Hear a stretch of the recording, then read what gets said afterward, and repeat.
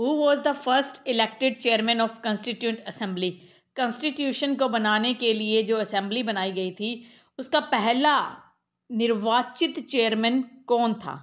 देखिए जो ये असेंबली बनाई गई थी, इसका निर्वाचन जो किया गया था, उसके अंदर डॉक्टर राजेंद्र प्रसाद को इसके चेयरमैन चुना गया था। लेकिन उनको चुनने से पहले जब 9 दिसंबर 1946 को ये एक असेंबली बनाई गई तो टेम्परेरी तौर पर, अस्थायी तौर पर डॉक्टर सचिदानंद सिन्हा को जो है चेयरमैन नियुक्त किया गया था और उसके बाद डॉक्टर राजेंद्र प्रसाद का चेयरमैन के तौर पर नाम जो है, वो जे बी कृपलानी ने सुझाया था।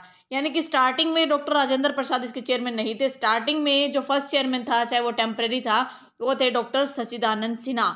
उसके बाद राजेंद्र प्रसाद जी बने और उनका नाम सजेशन किया था जे बी कृपलानी से ने। तो ये कुछ पॉइंट है जो आपको अपने माइंड में रखना है किसी भी कंपटीशन की तैयारी करने के लिए।